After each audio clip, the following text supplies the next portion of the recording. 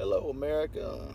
I just wanted to through to you today and share a story about my nephew. His, his name's Chase Clinton. He, uh, he's a good young man. He, he found himself caught in the crossfires of today's political realm. And he, uh, he came through for the Democratic Party here. He, uh, he helped us prove that we're all slaves to the Republicans and how they use their nanotechnology to to control us over the years and how I was in the Oval Office and if you you know you remember the Monica Lewinsky and everything that took place there in those years he he pointed out how I was under mind control uh, along with the rest of the Democratic Party. And it was during these trying times that we knew that we were being set up that we had to rely on a young man who was my nephew and he came through for us in the end. He it was a something we call a major long play over here on the Democratic side, and you know it was really hard. We're very patriotic uh, countrymen here, and we care about our constituents, and it was. We sometimes we we just really didn't show it as much as we'd have liked because we knew that in the end everything was going to work out for us when we proved that the Republican Party was using their technology to control our minds and make us do illegal things that we wouldn't normally do. And it was the technology that even picked us out by our names. It was hard to deal with these times. We were we knew we were being used and we knew we were just a bunch of slaves to these evil satanic cults over here on the Republican side that just used us for uh, everything you could imagine. We did all their dirty deeds and we we created globalism because that's what they wanted us to do. You see, we we weren't for globalism. We were patriots, but the, they picked us because we were rabbits, and it's easy to make a rabbit do what a rabbit's supposed to do whenever you got these wolves over here with their technology, their nano mafia technology that just takes over your mind and makes you do things you just normally wouldn't do. It just takes you into being out of character sometimes. And it was, it was these pressing times that we knew if we just went with the flow and listened to my nephew Chase, that when it was all said and done, the evidence would be real clear that the Democratic Party was slaves to the Republican Party this entire time, and it was military technology and the military industrial complex who lobbies through the Republican Party that basically used us to do their dirty deeds, and they allow the Republicans to get by without having to go through this uh, terrible, terrible trauma-based mind control and things like that. That uh, they allow them to, to get by because they know whenever the military-industrial complex comes to the Washington that uh, the Republicans are going to pass the laws that are necessary and sometimes when you have that swing vote that uh, you only need one more vote from a Democrat or something like that to get some sort of military technology implemented that what they'll do is use that mind control and military technology to to just torture these poor Democrats into doing whatever it is they need to do to vote that way.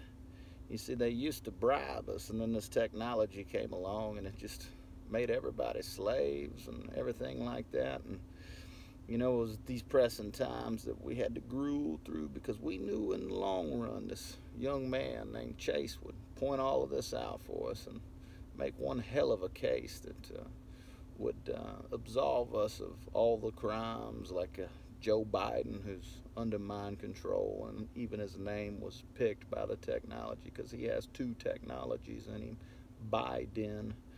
You see, that's a home for two technologies. and there's several names like that in this uh, entire scheme that was put uh, put together where AI has been driving Washington and everything else in that nature. And it was a very troubling, troubling time for us to get through, but uh, we do believe we've come to the conclusion and the case has been put together that the Democratic Party is innocent of anything we've ever done illegally because we have proven it was truly the Republican Party using the military industrial complex's technology to make us do their will, and uh, including putting a cigar inside of Monica's vagina when I snapped to and realized what had taken place, it just broke my heart. What happened?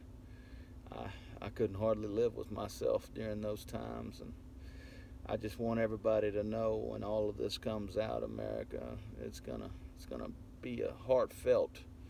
Uh, even yourselves, America, are being controlled by this technology, and you're just not even aware of it. Some of you, some of you may be, some of you might not be, but it is torture for us Democrats to have to go through in order for us to stand up and be.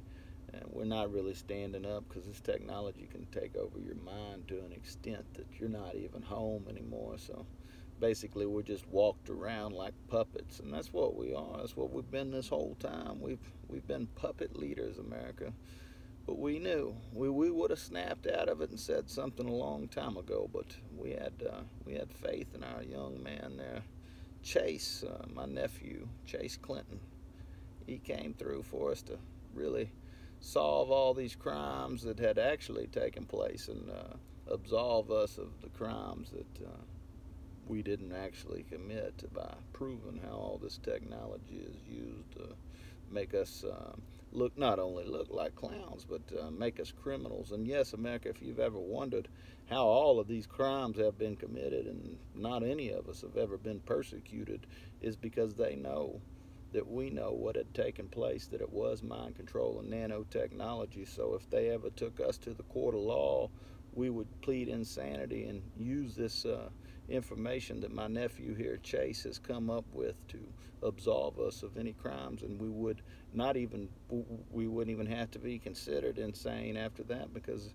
he has proven that our minds were under control, and it was the the media. That was also involved in a lot of this, and the, the military-industrial complex, and DARPA, and several several uh, entities of that nature who use technology to wage political warfare, and they basically have taken advantage of the Democratic Party because we just we're free loving people, and you know we don't like to uh, commit. We don't like to commit hate. We're not hateful people. We we've been made out to be hateful, and it was this technology that made us look that way in the Republican uh, constituents' eyes, not the actual Republicans who are a bunch of snakes and set us all up with their technology.